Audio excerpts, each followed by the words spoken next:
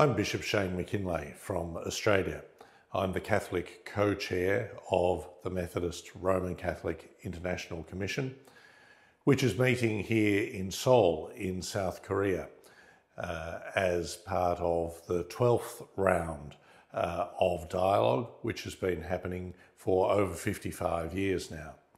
We're hoping in this round to bring together something of the fruits of our conversations and dialogue over the decades uh, in that time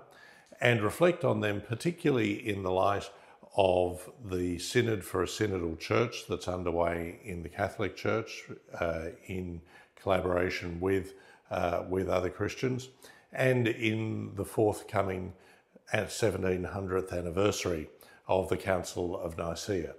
to be able to present to our churches uh, uh, a synthesis of what's been achieved over these years